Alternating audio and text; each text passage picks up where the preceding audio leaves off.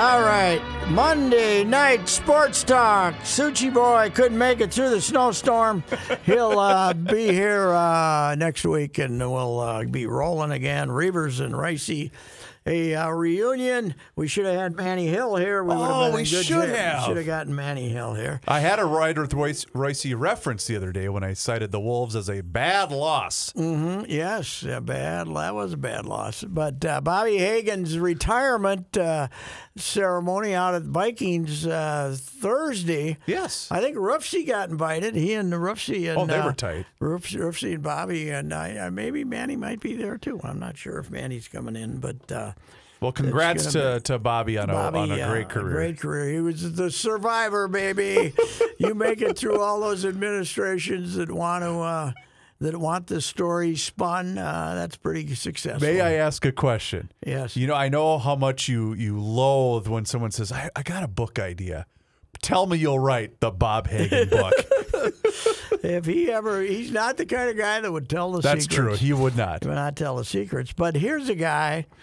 He was as close to Sid in the last 20 years as anybody. He would take Sid to lunch and just listen to the BS. And then he was really tight with Dark. You know, I mean, he found one of the guys that found Dark dead. Mm-hmm. Yeah, yeah. And, uh, and he would get them together at lunch once in a while and referee the the, the the same quibbling those of you enjoyed on Sunday The Sunday sports show. sports show was on steroids when they were having Oh, my lunch there together without an audience because Sid of course I mean uh, Dark would show up at those lunches with only one uh, you know goal which was not to you know, well he liked eating too but to needle Sid, to agitate Sid, and he'd get him rolling. And Hagan would be Hagan. would He'd, he'd twice a month. He'd he'd have lunch twice a month with Sid at least. Sometimes once a you know, sometime weekly. But he'd get Dark maybe, and then he'd Dark too. But then he'd get them together about 10 times a year. Oh, my God. Have to referee that, which which. That's a reality you know what show. His secret of success was though. What's that? He was a great guy. Everybody loved him. Never told you anything out of school. That's right. He never. Uh, they could never trace anything they didn't want public or Back to any him. inside material back to him. Yep. He was, hey, how you doing? But he didn't. Uh, he didn't talk out of school. He didn't lie to you. He didn't. He didn't tell you the truth either. He just. He just. You know, whatever they publicly released, he he talked about it. He'd get you people on the telephone. He, he con, you know, did all that stuff, but he did not uh, talk out of school, which is, you know, unlike Pat Forciea, who, you know, when he was in a similar type of role, he would. Uh, I, I you know, just dealing him. with Bob, I didn't obviously wasn't as close to him as you are, but great guy. He always was. You know, if he needed to schedule a guest or whatever, he was he was great in assisting that. But I will give him this credit. I, I know you remember this when. Sadly, uh, the young man that that passed away as a result of the the construction at U.S. Bank Stadium, yes. he happened to be a kid from my hometown, and he went to school with my brother. And Bobby was the one that helped assist getting him uh, a jersey for his brother, which was really cool and meant a lot to the family back then. That was that was all Bob Hagan. He's the one that uh, I was corresponding with to make to, to make that happen. That was all Bob. And he, Just a true uh, class act. he was uh, close with Zim, close with Oh, yeah. all of them. You know, he was um, he was uh, well, he you know still is, but he was. Uh, I don't think he has this last year. He basically has been phased out, and Jeff Anderson now has that PR job. And uh, uh, but I, I'm not sure if this means he's Done, done, retired. done Yep. done or just not going to be publicly. But anyway, good for him. Well, if the ride with Royce comes back, he can be our intern. He got the place up. He's got the lake place up north Oh, too. there The you old go. family lake place Yeah. that they love to go up there fishing and stuff like that. So he's got all that. But anyway, uh, somehow we uh, ended up getting on that topic. But this is Monday Night Sports Talk. Hey. There's only the two of us, and we got to BS our way through 20 minutes. I, because knowing that you and I were going to do this show, I watched nearly the entire round yesterday at the Genesis Invitational. Pretty good stuff. Wow, was that a good What finish? a great golf course. I mean, they it's they were talking about like 18 up the hill, you Yep, know, yep. 18 big elevated green like that. Uh, Nantz talked about 2000, I believe, maybe maybe a little earlier than that when he was first covering it. They used to hit three woods into the 18th green. Oh wow. Some of them. Now they're hitting pitching wedges. Yeah. So that's so for these old courses to be able to defend themselves, considering that they aren't that much longer, and these guys are hitting the ball 100 yards further off the tee Yeah. than they were 20 some years ago. Uh, to have these old courses able to defend themselves is pretty amazing. And I'll tell you one thing. Those greens were lightning, weren't they? Oh. You could some of those par fours, the one par four, you could hit the ball down on the front left of the green. It would roll off the back. If, Well- if you didn't get that thing high enough and spin it, the, it, it would just keep going and going Well, and going. on 18, that's is it's Homa, right? Is that how you pronounce his yes, last name? Homa, yeah. His caddy was saying, you know, they, they got to make up two Yeah. against Rahm, and he said, looks at he says, "Should we go for it?" Because he knew if he Yeah. if he if he drove it, you know, not not give it as much height, Mm-hmm.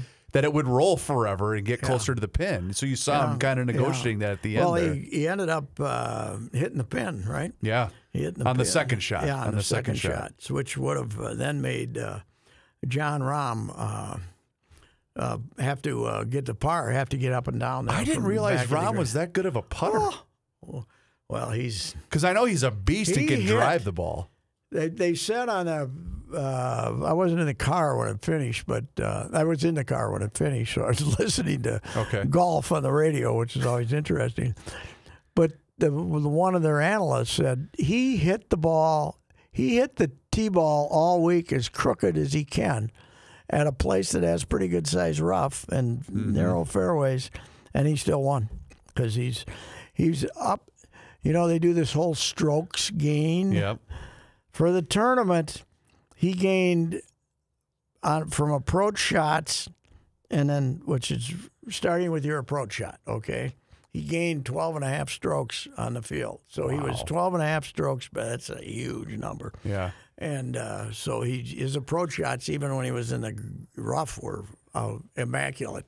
So, uh, but how about Tiger hitting the damn thing 300 uh, with one foot? I You can couldn't see him when he's it. walking up the hill. He's limping like crazy, and I don't think he's doing it for effect. Well, no, he's not. But and you can see that everyone was kind of waiting for. Doesn't plant his foot. Well, but but that but as the weekend went along, was he going to be able to hold up? Because that was what everyone was worried about. And, And- even in that, I think it was after the second round, he was telling the gal that he was interviewing with, "Yeah, I'm really sore. You know, I don't know how I'm going to feel tomorrow." You know, Saturday he shot 67. Sunday he was worn out. Uh, he did do something extremely stupid with the tampon on uh, yeah, with Thomas. Thursday, but uh, it's just, I mean, it's it's Tiger, so they'll let him get away with it. Sure. But uh, but uh, he, he, you can still learn lessons at 46 or whatever it is. I'll say. But uh, you know what's uh, you know what uh, tells you he's getting older though? Male pattern baldness. Oh, when he took the hat off. hat Yeah. off, had a baby. Can he afford? Uh, can he afford to get a little hair? Or is it just he says, "I'm What Tiger. The hell what the hell do I care?" Yeah, still, uh, still, but uh, it was great to see the uh, PGA Tour have such a uh, good event with the LIV Boys not even playing yet. Is there? Did you? You didn't watch the Golf Channel at all? No. I said there's my three favorite things about golf right now. I said this on Twitter. Tiger hitting it over 300 on you know On Tiger crushing it off the tee on one leg. Jon Rahm playing unbelievable stretch of golf, and Brandel Chamblee's incessant hate for LIV. I mean, he just goes after, he just disembowels them on Twitter, on the air. He just hates them. It's fantastic. And my wife is watching the, uh, there's a series on Netflix now. Okay. You know, since Netflix did all that thing for Formula One. Okay. by Oh, going yeah, yeah, doing yes, that, I mean, yeah. they made Formula One Very popular, again. popular Yep. again. I mean, with one percent of the population, but but they're the golf they're doing that in golf now uh, inside the golf, and it's not it's not a PR version of it. You know, it's uh, and it's, It's a real life look. the live con. It's covering. It's, Okay. it's inside the PGA Tour, but there's a lot of LIV stuff and shows you know, video of them playing with each other. Okay. Matt McIlroy and Koepka, you know, and now mortal enemies, and uh, and uh, it, it's pretty good. I guess I haven't started it yet, but it's uh, she's she's into it. She's I was trying to explain. And that's her thing, though. She loves watching that kind yeah, of stuff. Yeah. yeah, She likes sports. She likes thirty for thirties and stuff Right. like that. She, if the Super Bowl's on live, she won't come down and watch it. But uh, if she can get some uh, inside, but if the OJ documentary's on, Mm-hmm. she's got it covered. I think she's got that one down pat though. she has got it Memorized. really down pat. Yeah. So I was going to ask about this, but and I know this is Tiger's baby, basically the the Genesis Invitational. But where does it rank in terms of? I mean, it they had a great field for this tournament. Well, see, there's this. I'm going to talk to Hollis about this. There's, as a response to LIV, they have now come up. They've raised the purses tremendously for. Well, there's 17 events called. Uh, what do they call them? Uh, oh God, what's the term? I'll look There's it a up. Term for them, uh, but some of them are the majors and a couple, three of them are the World Golf events. There's about ten. There's about eight or ten weekly is it the Elite Series? The designated, I think, designated tournament or not? It's not a designated tournament. Designate uh, the PGA Tour designated events. Designated events. Okay. Yes, this is a designated events. Last week was too, and the best players on the PGA Tour, you know, the highest ranked guys have agreed to play in Oh, wow. these. Have You're not kidding about the play in- purses here. Holy cow! played in these. Yes, they upped it. So what they've done is left the weekly, uh, the other 15 weekly events or so, 16 weekly events, including ours, uh, where you got to get some of these. You might get two of the top 20, and you're going to have to sell it.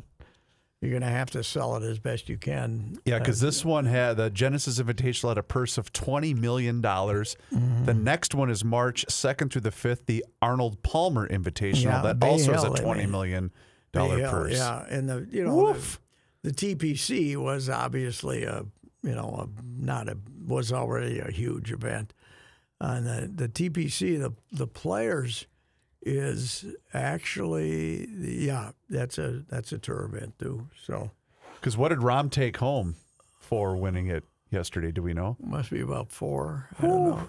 Nice little payday. Yeah. Yep, you're right. Three point eight million dollars. He doesn't. Have, he's not the swashbuckling Spaniard that Seve was. First of all, he hits it barely straight. He hasn't hit it straight this time, but his real name is uh, Rodriguez. You know, I mean, Oh. Is his middle name, but just to kind of distinguish himself from the other Spaniards, he goes by Jon. Oh, Rahm. I did not know that. Yeah, Okay. and uh, what a player! Whew, man alive. He's uh, he doesn't have a lot of. He's pretty straightforward out on the course. He, He seems does- friendly stuff. I was going to say he. It seems like the the other players genuinely like him, but he does have that little bit of what Tiger used to have, where Yes. When he's in the lead and he's looking at you to make that putt, Yeah. you feel a little Yeah, I intimidated. feel uh, this Homa uh, was it was uh, you know he's been playing good for about two years now. He's a putting fool, and uh, L.A. kid. It is funny how L.A. can adopt. He's one of ours. You know, Sure, yeah. well, you got 14 million people, Right, you right there in your it- It's backyard. not like. It's not like he's from Bowabic or something, and you say, "Oh, he's one of ours," you know. But uh, they had a huge crowd out there. Well- I'm I I don't think I'd like to be walking that golf course at my advanced age Oh no, up that hill, No, that no, last thank hill. you. And then because it's it's and Tiger, he hadn't given in, man. He walked. He could have gotten the cart ride up the hill to the clubhouse, and uh, He 'cause said that's no? really in the valley because it's a canyon basically. I was going to ask because in proximity to downtown, where where is it? Is it closer to the water? Or where, uh, which which way is it? I think it said it's two miles to the ocean, but uh, Okay. they're in a canyon. You know, one of these many canyons. Was Riviera where uh, OJ played? I think wasn't it? I don't know. I don't- he was in one of the private clubs. I think it was. Uh, I think it was there. Oh, gee. So uh, yeah. So I, I I don't know. I might have told you guys this before. How about this? was- On the morning of June 12th, 1994, OJ played his usual foursome at the Riviera Country, Country Club, Club. In Pacific Palisades. Mm-hmm. Wow. And then he then he then the murders took place. Well, he said perhaps tellingly, he and one of his buddies got into a violent argument, almost coming to blows right then and there on the second hole. Wow. So he was in a bad mood. he wasn't a bad in a really mood. bad mood. But it was it was a few days later though, wasn't it? Uh, Wasn't it a little later. Yeah, Oh, maybe no. It was a while before they zeroed in on him, right? Because the day before the World Cup started was when the Bronco chase was. okay. Yeah, so it was it was what we took about 10, 11 days to realize he was the murderer, right? I think so. Yeah, I'm trying the to. World Cup started like 13th, 12th, 13th, 14th, something like that. All I know is in Mr. Harvey Schultz algebra class, we knew it was serious because he said, "Time out, everybody. We have to put on the news." That's when we knew it was a big deal at dear. uh, Faribault Well, Senior I High was School. at the next day. I was at the World Cup opener at uh, Washington Giant Stadium. Giant Stadium. Okay. Giant Stadium, Ireland versus Italy. and as I, I covered four World Cup matches, and I basically covered the parking lot for all four because I didn't know what the hell I was watching. I couldn't break it down. Right. So I talked to the uh, Irish, of course, because I knew they'd be drunk, and you know, Jesse, just Jesse. Yeah, to quote Jesse Ventura, we knew they'd be drunk. So, and they, b- found about two or three great groups of Irishmen, and they were so upset because there was no World Cup coverage on TV Friday Oh. because every channel is this white lorry driving around. What the, you know, where's the World Cup coverage? This is the World Cup. They were we so have- mad. They had no World Cup coverage in New York because all we had was this white lorry driving around. And I said, well, he's a pretty well known guy. And It's he- kind of a big deal and around as these we parts. say, he killed his ex-wife and a waiter. So, right. They can't uh, take they take that away from you. Oh, you can't. You can't take that away from you. Oh, I gotta find that in honor of. Hold on, Let me see if I can find that. That was Norm, right? That was Yeah, Norm. Hell yes. Oh, yeah. my the God. 1995 ESPYS. Charles Woodson. Charles Woodson, 1995. Norm's first and only appearance right? hosting the ESPYS. Not only did he not post them again, he wasn't allowed to attend. uh, Give me a second. It's going to take me a well, minute. they also had the Anthony Mason joke, which was uh, Oh, even, that's right. even more inappropriate because the uh, the uh, the the. Uh, He, yeah, Anthony got into a little bit of a trouble. I think there was an eight or ten year old girl that was honored there, and, Yeah. and he said, "Even too young for Anthony Mason." and that's when the crowd went, oh, "Oh, no. God Almighty!" Let's see if we got it here. Let's see if we got it here. Norm at the ESPYS. Charles Woodson. How about that? Huh? What a season he had.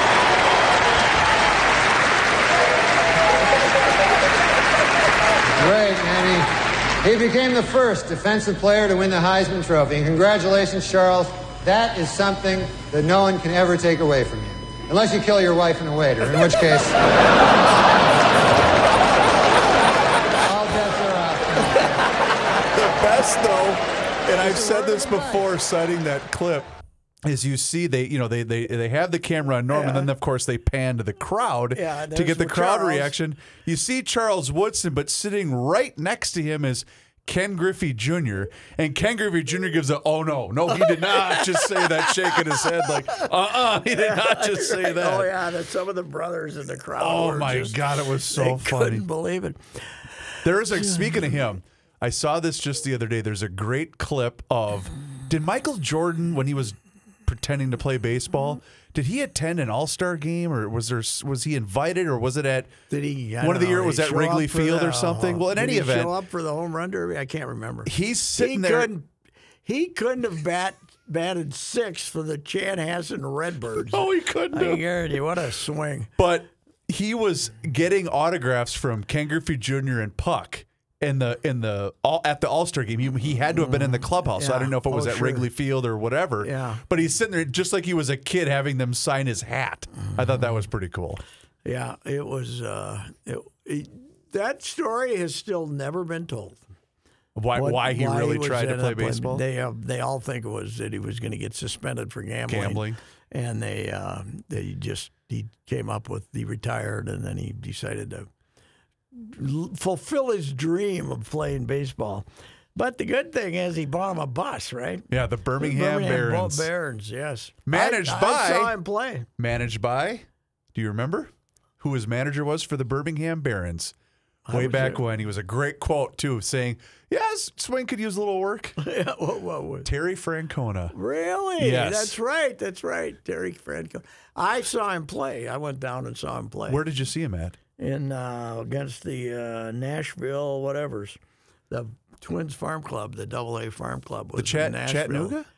No, Nashville. Nashville, then. They okay. were in Nashville then. Okay. Eddie and those guys were down there. I Oh, think. really? And uh, yeah, I saw him play. It was. I said, "Oh my God, he can't hit. He Can't hit. He Can't hit." But those owners didn't care because there were No, thirty thousand people at every game. well, not really, but he, he drew six or eight or. oh, was it know, yeah. okay? Well, the Birmingham ballpark, I think maybe they had their new stadium by then, but they, you know, they had Rickwood, which was the oldest ballpark in America, basically, this old wooden grandstand that still stands, I believe. It's a historic old ballpark. And I think they'd already moved to a different ballpark then. Okay. though. And that's what I was getting a little bit jealous, Pat, because this morning the boys and I had we always watch the Fox Nine because they stay local, and they had the live report from Fort Myers this morning, and I thought. Ooh, who's, Staring uh, who's doing the news? Well, this was well. Rich was down. Jim Rich was down. Oh, Rich was morning. covering it. Yeah. Rich was covering it. Yeah, That's when you get a one little of my jealous. Most, one of my worst things I ever did to a human being. Passolt was down there for eleven. he brought six shirts to the ballpark, and uh, he the day that they had like the formal interview media day. Sure. I, I couldn't figure out what was going on. He'd interview whoever it was, you know. Oh. Is, he'd interview somebody, Yep. then he'd take a break and he'd go change his shirt. And then he basically, what a what a genius! he basically played golf for the next five days and had, him sit back. Now, good thing nobody got hit in the head with a baseball. And, you know, but this was in the, this was before they were playing games. You know, this oh, was like the first day that he was so mad at me. He was, we're buddies. I mean, we get along fine. He's great, but it was, it was really. How did you bust him? Because this is way No, before I wrote social in a media. column. I said, you know, these games are so exciting. You know, something about Passolt is a variety of shirts or something as he does these interviews. I wonder why. Now you're wondering too because you're if you're back at the newsroom and he's sending you the B-roll, you know, to Yes, run for the six o'clock that night. You're thinking.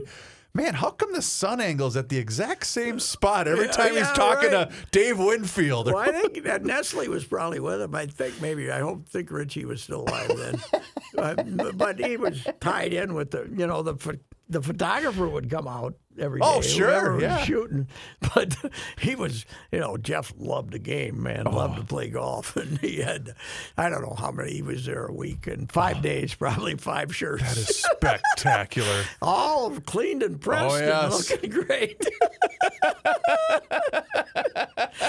Too late now, though. He's living down there in Naples or something, so they can't. Enjoying the good life. Yeah, he is. I saw him at. Uh, two, when was it? I wasn't there last spring, so 2020. I went to the uh, 2021. I went to the senior opener at uh, Naples uh, to see Lumpy. Oh, sure. And uh, kind of the, also COVID was still going on. Yep, yep. And uh, Jeff and his wife were down there following Lumpy around. Because they just had the the senior tour Yeah, they- in Naples, right? This past weekend. this Yep. week. Okay. be- the opener used to be in Boca. That was the one my stepson ran for a while. Oh, that's right. And uh, but then they uh, that that thing they they they that thing moved to the end of the season where it's one of their playoff events Okay. in Boca.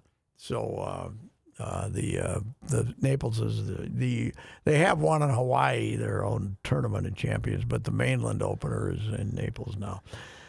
Uh, they they're in trouble though, man. Really? Senior. When 65 year old Bernhard Langer is still your superstar and he won yesterday, it's they uh, you know some of these Is it because a lot of these- making too much too. They made too much damn money, I think. And They don't- them- they don't like wanna play Phil any- is playing for a LIV and getting Sure. his millions, and yeah, they don't. There's no. I don't know. They got a hard time.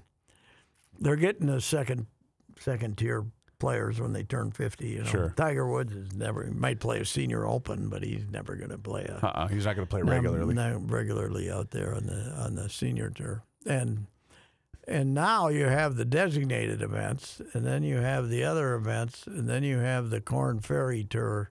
Uh, there's a lot of golf for TV, right? Sure. So, anyway, Speaking of the Twins, um, I have to issue a, uh, a grievance with Bally Sports North. okay, You ready? yeah, So I had set the recorder to record the Diamond Awards because the boys, you know, wanted to watch Patrick give the give the speech and and had to see Joe introduce him and all yeah. that. And so I recorded it, and so we we zipped through. I go, well, Patrick's is more towards the end. yeah. And so we, we zipped through it, and there we see Dan Barreiro. Okay, here we go. Dan's going to introduce, then Joe, or Lavelle was first, then Dan, then Joe, then you. So we get to you, and uh, we start talking. So I'm waiting for the great cheap shot you take at Rocco. They cut it out. They cut it out. They edited it I out. wondered if they would. I was so angry They that they got rid of it. really. Well, and I'm I thinking, was wondering if they would. and I was thinking, okay, well, and it wasn't even really that bad of a no, cheap I shot. said I didn't there's think. a lot of things about baseball that I don't like, but Rocco's here, so I'm not going to say anything. well, that was that, but then Then I uh, also the relief pitcher that passed yeah, away. Bill Campbell. Thank you. Bill Campbell, I said. 100, 410 innings, Rocco. Three years. You'd like to get that out of one of your starters. and uh, yeah, uh, I thought maybe they would. So I, I get I it. said when I got done, I said, I was afterwards. I was talking. I said, if they need to cut a couple of minutes, I think I know where they're going to go. Right. You know. So that's fine. I don't care. I know, but I But- but I is. Personally just be in- wanted to see it. Oh, sure. Yeah. I mean, that's that's. Uh, I'd say that uh, some of the there was some nervous laughter, didn't you say? I mean, some there was some not me, not at our table. I was laughing my ass off. Are you kidding me? some hard laughter, but some nervous. I think they were. Oh, I think they were pray- hoping that I wouldn't. I wouldn't follow form, but I figured I had to. so that because that was a Thursday night, correct? When the the original event was a Thursday night. So the next day, you know, we come in here to do the show, and Joe and I were briefly just say, hey, uh, it was a good time. I I thought we got out of there a pretty decent decent hour too. I thought it was gonna be a lot later. Anyway, and so Joe said, well, how did I do? And I said, well, you're fine. You know, I said, here's the only thing because I've heard the. The, the the the family of Lou Wangberg can I mean I've heard the Yeah, story a million yeah. times it was still funny and I said, but here's the only problem. I don't think 90% of your audience even knew who Al Quie was. no, no, that's trouble. Yeah. You know, I said that it, it's no, it doesn't hurt the joke itself, but I just said, I don't think a lot of people knew who Al Quie was. Yes. Well, I said, and the and the line was has been found alive. Oh, it was. yes. Can relax. He's been found alive, Lou. I know, but I wrote that in addition to Oh, you did. in addition to saying it. I had it deleted. so- The only the only thing I wish Joe would have done is gone to further length about how much he was despised originally as a Twins beat reporter in the clubhouse. That that's the only thing I wish. Not so much in the clubhouse, but by his fellow travelers, Fowler and Ricey, who said, "This guy's an idiot. He doesn't. He wants Tony to leave it a pinch hit five innings after he left the game. He doesn't Why know." can't they bring back Oliva in the game to hit? Yeah. said, "Don't put that in your game story, dummy." Yeah. but Well, he admitted, didn't he admit that? I tell you what, though, he was a great sports writer because he saw stuff that the rest of us didn't. Because we, it was so familiar to us that we didn't hardly find it interesting, but he could make it interesting. Because it was unfamiliar to him. Yeah, it Well, was- didn't he admit the first Major League Baseball game he ever saw in person was the one he covered? He covered, yeah, and he forgot to bring his typewriter. He thought he was going to come back to the office and write it. You know, I mean, we had good deadlines back then to compare what we have, but not good enough that you could drive back in. He brought a legal Plus- pad. Plus, there was more addition, There were more additions than one. Okay, yeah, there was like the. There was always like the ten thirty or the ten forty five. The funniest thing though is the oh, the, the, the the Star Tribune. They had, you know, everybody had their own terminology, and theirs was tenth ad. Okay. So when you're writing your running story for the Outstate edition, because you got to remember, in the 70s, the Star Tribune circulated all around the state, print editions. Sure. And the trucks were getting ready to, hell, they'd drive to Bemidji. You know, they'd drive to Moorhead. And, and the truck with a game story, you know, hopefully, you know, if you get, and back then they would, you know, it was, if you had a 1045 deadline, 10:30 deadline, you made every game because they started, you know. So they, but you had, they wanted to get the copy, so all they needed was like two graphs when the game ended. Boom, you know, blah blah blah. They won, and uh, and this was Bly what got the win and, then, and whatever, yep. And then everything else was so you'd in the fifth inning you'd start tenth ad, so kind of a summary of What however you so wanted far. to do it. Yep. But the you know tenth inning, eleventh ad would be like the sixth inning. Uh, if there was something worth noting, you know, 12th ad, 13th ad. Mr. Math could never figure that out. You know, 10 is 10 is first because you might have to then write the more relevant stuff as a second ad, third ad, fourth ad, you know, right. early later in the game. But the tenth ad was your first ad. He could, he just the sweat would be pouring off his head. He couldn't, he couldn't, he just couldn't fathom that you would have a tenth ad, you know, an eleventh ad, and he admits that. And you know, God Almighty, what a beauty! Oh, uh, he Well, the the legal pad always gets you because I can just picture him with his Yeah. with his little bag and his legal pad. Yeah. Well, Batson, his his first boss was a complete screwball too. A great writer, but Okay. just a weird guy. He didn't want traditional sports writing, you know, because he was weird. He'd write stuff about an old Bible somebody found or something. He was, and he was a great writer, but uh, a very. Uh, I think there was a long period where he liked his alcohol. Oh, okay. And he would he would like summon John Rowe always tells the stories about he'd summon him over a little wagon for a meeting. and he was sitting there drinking and John sit down and Batson uh, wouldn't speak for like a half hour. And John would sit there waiting for him to tell him what he was going to tell him. And then he'd say, well, I, I think you're doing a good job. That was it. Now you can leave. Meeting's over. yeah, meeting's over. It was a uh, it was a weird uh, time, and then of course they hired Gary Libman, Dr. Gary Libman, a with a doctorate in African American studies from someplace out east, and someplace on the west coast. I mean, decent guy, worst writer. Uh, he suffered more over a paragraph than Gore Vidal did. I mean, it was uh, it was un- unbelievable. It was he just suffered. The, the famous story about him that I've told is we had the twi- we had the Patriots Day game. Yes. Fergie Jenkins starts at 11 a.m. It's 11 a.m. in Boston. Fergie gets us out of there in two hours and one minute, and which for him was long. Sure, you know, yep. Throw it over. So it's a lot. One in the one in the afternoon, and the deadline is 10:45 at night. Right, 10 first deadline probably 10:15. So Fowler and I go down to clubhouse. Hell, you spend 45 minutes in the clubhouse getting stuff. Come back up. You write the game story. Uh, you get a couple of first. You get a couple of pops in the. Well, you have the- to, in yeah. The, in the in the room. The Boston Red Sox hospitality room was the second greatest in the American League, Behind behind, only Texas. the, only no, we're behind only the Twins. Now Oh. Texas, once Brad Corbett got in there and they served you drinks during the game was a little different. That was a game changer. With a very attractive young lady uh, coming in the second inning. Would you like have a? Would you like a refreshment? Yeah, I'll have a gin and tonic. But uh, thank you, thank you. But uh, uh, you know, anyway, Fowler and I are getting in a cab at 4:30. You know, he's we each wrote two stories and stuff, and the the next day, the guy running uh, Sportscom, which was back then as they'd send your copy in uh, on a Xerox machine, early Xerox machine. was livid. He said, this guy, we had to climb out of the stadium.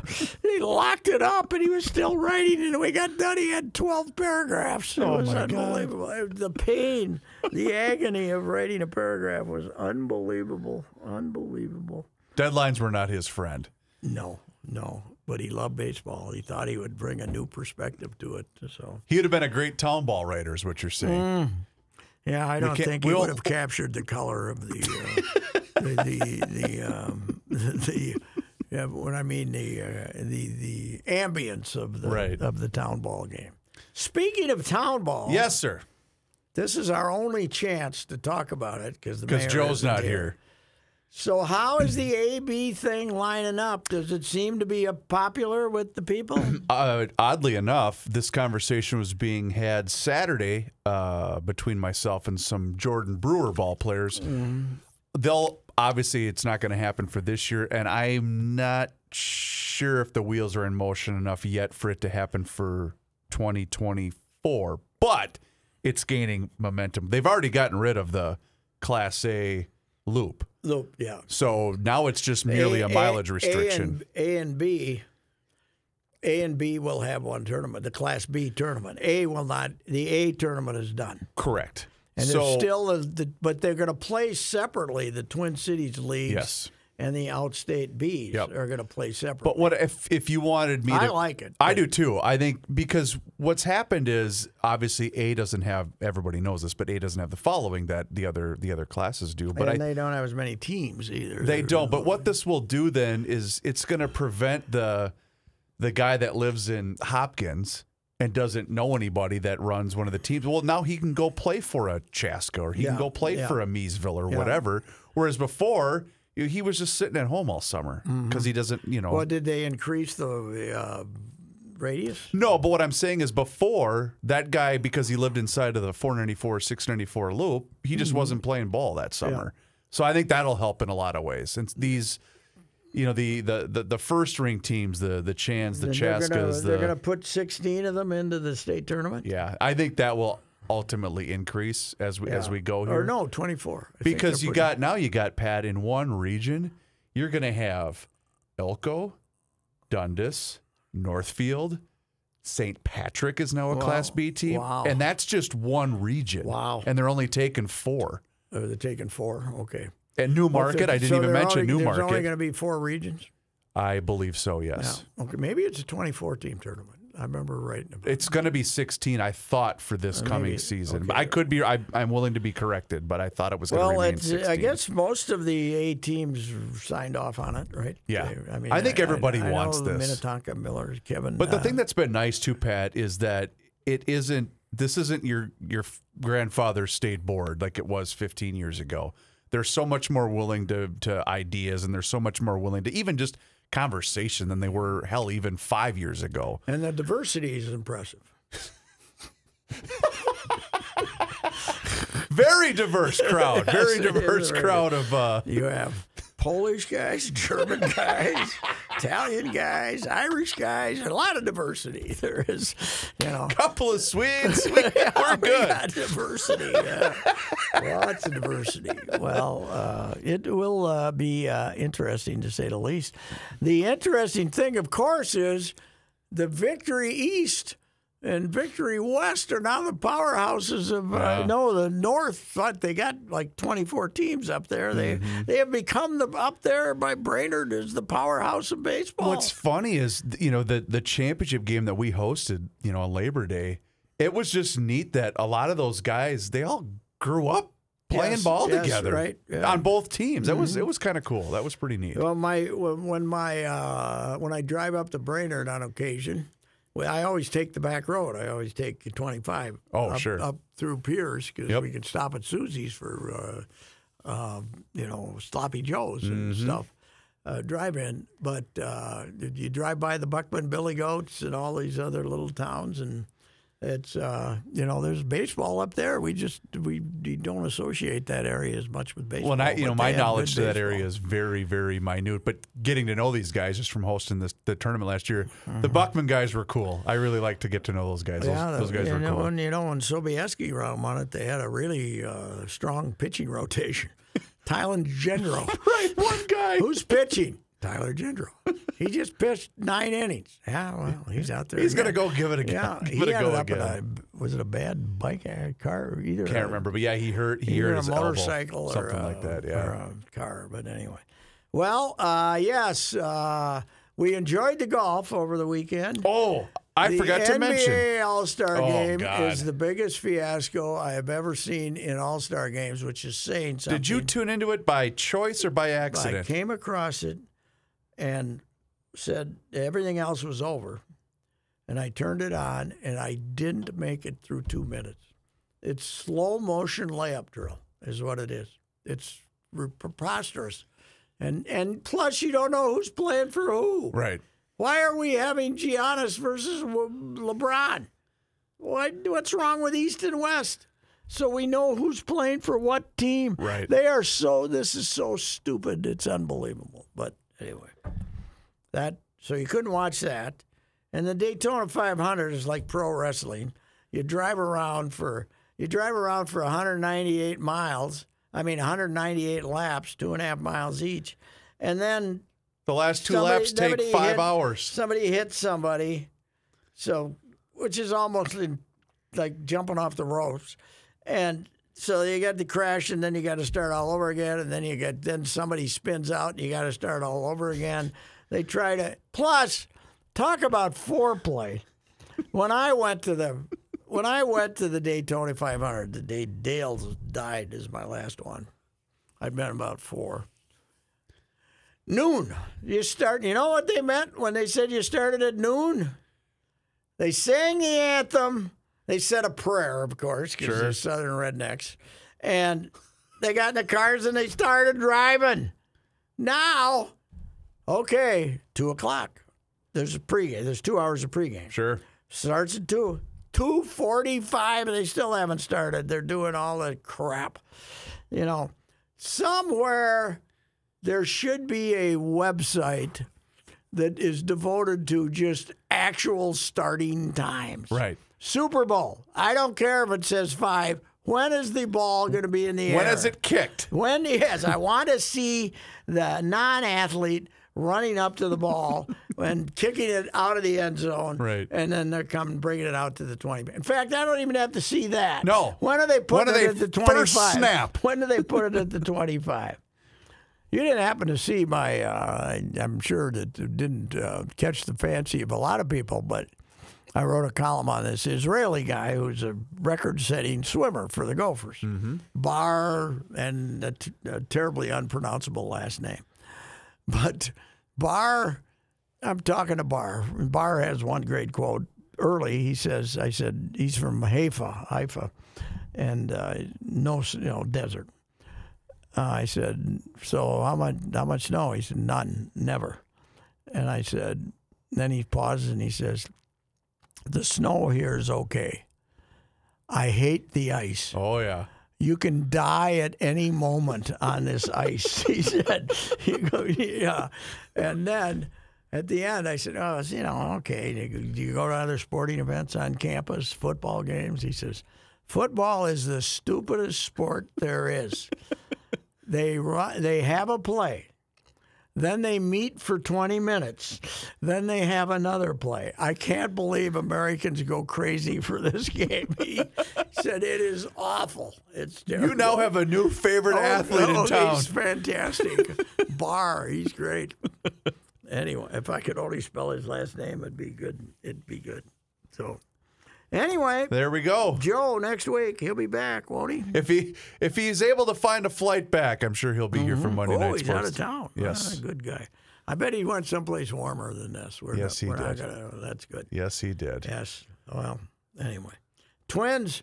Uh, they start the they start the exhibition game Saturday. Saturday, right? yep. with a doubleheader, I believe. Is that There's true? Twin, but they Don't they usually play the Gophers once or something? Yeah, Are the Gophers down there? Maybe the Gophers are going down. Yeah, I think maybe they are. Okay. My Johnny Castino column Sunday. Uh, I wrote on John because John has a. He wants to fix the game. To fix the game. Uh, two and two is a full count. Three is a walk. Ball three is a walk. That way the pitchers have to challenge hitters and more action. I kind of like it. It's not going to happen, but I kind of like it. But John, third round draft choice from Rollins College in the Twins' front yard, basically. Yeah. One reason being Calvin saw him hit a home run Uh, off Bert Blyleven, except it was a different Italian guy on the team, Ricky Ricky Ardello or something like that. But John says, "Hey, Hey. he got me drafted in the third round. I'm all for it." You're saying scouting might be a bit different these days. now, yeah, right. We we we can differentiate our Italians, that's for sure. Earl, why are you walking Danny Ford? The first one. God, I miss him. He was the greatest. Earl Weaver, the greatest. Unbelievable. Especially when he was insulting you, which was damn near all the time.